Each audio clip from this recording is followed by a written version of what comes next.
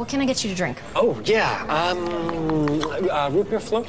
What? Is, is that is that okay? No, I mean, you, you, you're laughing. Is You guys have No, yes, right? no, we do. It's just cute to hear you order a float for brunch. Quixotic Endeavors presents So, is there just gonna be one of you today, or?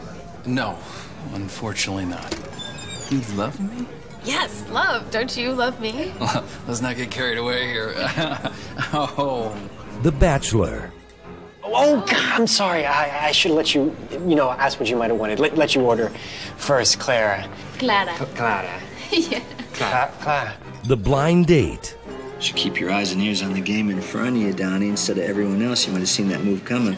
The Game, So how'd you finally decide to do it? You know, if you're gonna kill someone, you might as well make it creative, right?